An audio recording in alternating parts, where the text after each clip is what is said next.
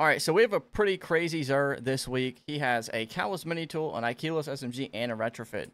So if you go over to the tower, you're gonna go to the hangar by where Saint 14 is, and Xur also has for us this week Prometheus Lens, Shinobu's Vow, um, Eternal Warrior, as well as Skull of Dire Ahamkara.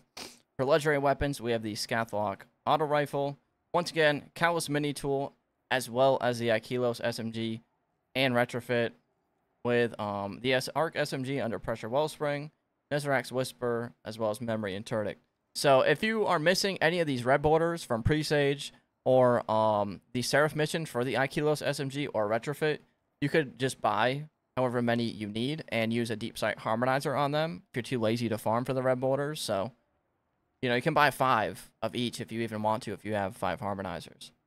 Here is the armor rolls that we have this week. We have the um you know, not horrible for Hunter, truthfully. Could be a little better, I guess. We also have Eye the Storm on Hawk Moon, Arrowhead, Alloy Mac, Eye the Storm, Polymer Grip.